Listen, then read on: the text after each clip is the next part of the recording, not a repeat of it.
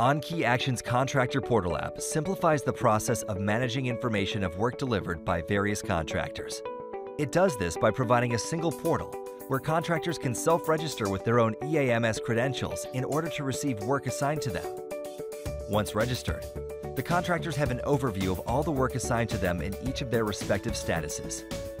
They can then select a work order for which they would like to provide feedback and perform actions, such as changing the status of the work order. Contractors use the portal to provide feedback for the work performed and add costing transactions to work orders based on the costs that will end up on the invoice. When submitting the invoice, a series of validation checks ensure that information provided is accurate and that it conforms to the business requirements set out by the organization receiving the invoice. Once the document is successfully submitted, it is possible to add documents related to the work for safe record keeping. By using On Key Action's contractor portal, a traditionally manual and cumbersome process is digitized and significantly simplified. On Key Action, simplifying asset management activities.